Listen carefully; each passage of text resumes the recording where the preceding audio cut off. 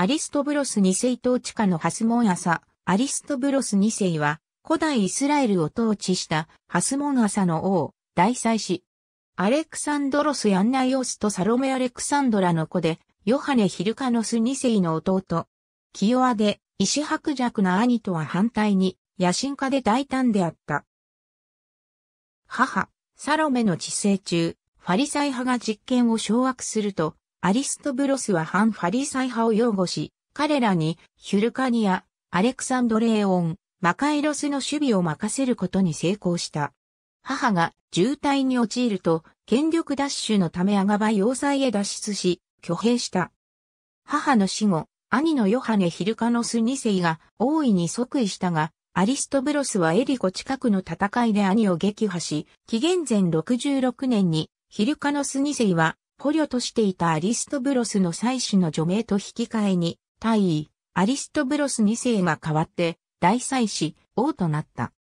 ヒルカノス2世はイントン生活と財産保障で満足したが、その部下で、イドマヤ人、アンティパトロスは、アリストブロス2世に対抗するようヒルカノス2世に、勧め、ナバテア人のアレタス3世に援助を求めたため、アリストブロス2世とヒルカノス2世の内戦が再発した。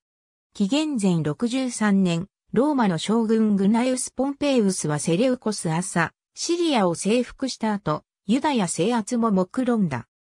アリストブロス2世、ヒルカノス2世は共に、ポンペイウスの朝廷を求めたが、アリストブロス2世がポンペイウスを侮る姿勢をとったことでポンペイウスは、ヒルカノス2世を援助し、アリストブロス2世は効能金を納めることを約束しながら支払わなかったために、ポンペイウスに拘禁された。ポンペイウス率いるローマ軍は、ヒルカノスに制派の手引きもあり、3ヶ月の行為の末に、エルサレムを占領した。陥落時、ユダヤ人同士の殺戮が行われた。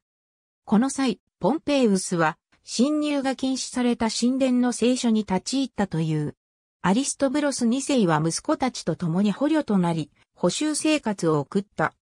紀元前57年、アリストブロス2世は脱獄して支持者を集め、アレクサンドレーオン、続いてマカイロス要塞に立てこもったが、反乱はローマに鎮圧され、アリストブロス2世はアウルス・ガビニウスにより、ローマへ送還、幽閉された。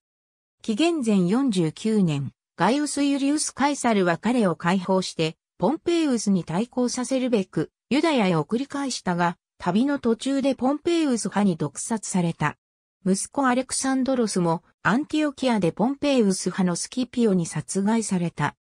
アリストブロスの別の息子アンティゴノスは後にパルティアの援助で王位を奪取したが、ヒルカノス2世の下で権力を握ったアンティパトロスの息子ヘロデに敗れて処刑され、ハスモン朝は断絶、ヘロデがユダヤ王に即位してヘロデ朝が成立した。孫で、アレクサンドロスの娘、マリアムネ一世は、ヘロデ大王の妻となるが、マリアムネも、ヘロデ大王との間に設けた王子二人も後に、ヘロデ大王によって処刑される。ありがとうございます。